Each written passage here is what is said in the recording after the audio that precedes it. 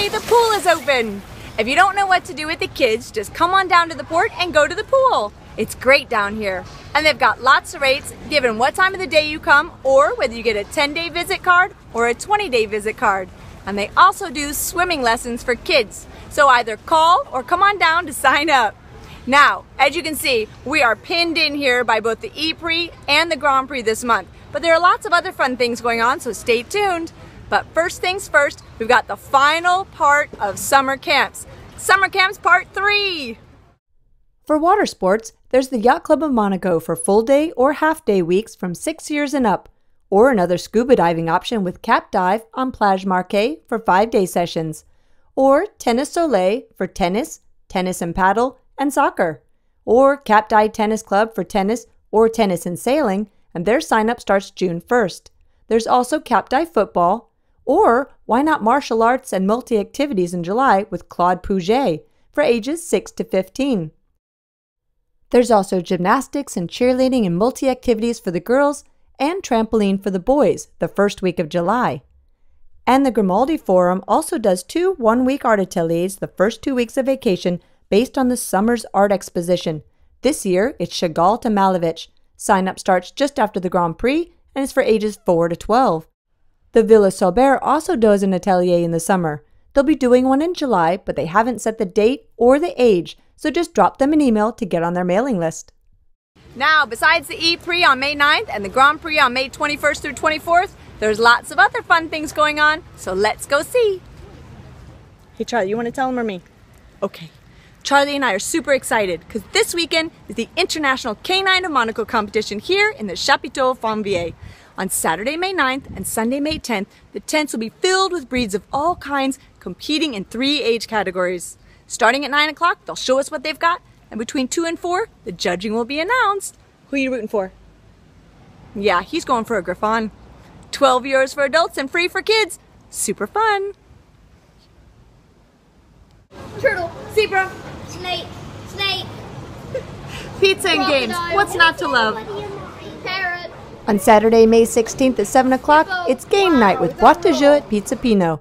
12 euros for members, 15 for non, gets you pizza, drink, and games. Just RSVP to let them know you're coming.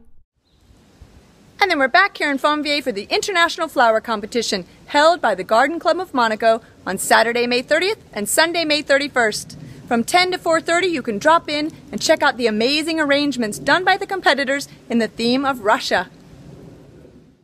And speaking of art, Terre Mediterranean has an atelier on flower and fruit pollination on May 14th from 2:30 to 4:30.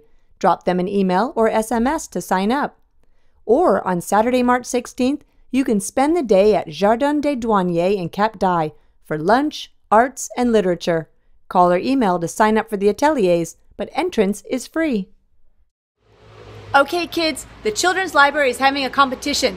Anyone aged 6 to 15 can take part in the Concours de Biodiversity. They want to know how much you know about trees, bears, turtles, ants, or amphibians. So you head inside, pick up your questionnaire, and then check out the walls, because that's where the answers are. You have until June 12th to hand in your questions and see if you've won. Good luck! And we've got some really cool music options. Here, the Académie Rainier Trois on May 11th through 13th will be piano days. Every day there'll be a great concert starting at 6.15.